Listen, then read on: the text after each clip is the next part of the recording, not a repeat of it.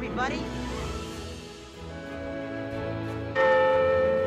There it is, Wendy. Disney is preparing its live action remake of Peter Pan, casting its two main stars. But I know what you're thinking. Hasn't Disney already made Peter Pan into live action? Or aren't there enough live action Peter Pan movies?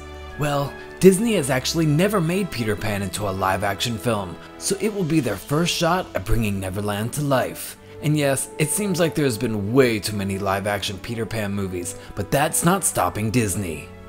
Newcomer Ever Anderson will play the role of Wendy, and Alexander Molony will soar through the sky as Peter Pan. Disney is planning on calling the film Peter Pan and Wendy. The 1953 animated classic is the most successful adaptation of the J.M. Barrie novel, giving audiences unforgettable characters and moments with the magic touch of Disney. The remake was possibly headed straight to Disney Plus, but talks around the studio say that it'll end up in theaters. That's a good sign for the film, as Disney will be putting all its power into making the movie perfect. Oh no, John. It was the left hand. Oh, yes. Thank you, Wendy. This could really open the door for more sequels if they do it right. The Aladdin remake was a success, and a sequel with the original cast is already under development.